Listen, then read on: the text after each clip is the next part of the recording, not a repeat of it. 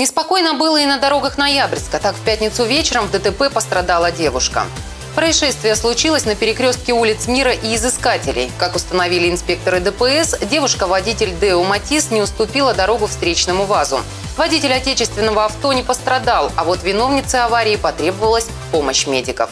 В результате дорожно-транспортного происшествия пострадала девушка, водитель автомобиля Део Матис 1982 года рождения. С места происшествия она была доставлена в Центральную городскую больницу для оказания медицинской помощи. Диагноз – ушиб э, шейного отдела позвоночника, закрытая травма живота, ушиб грудной клетки. Назначено стационарное лечение.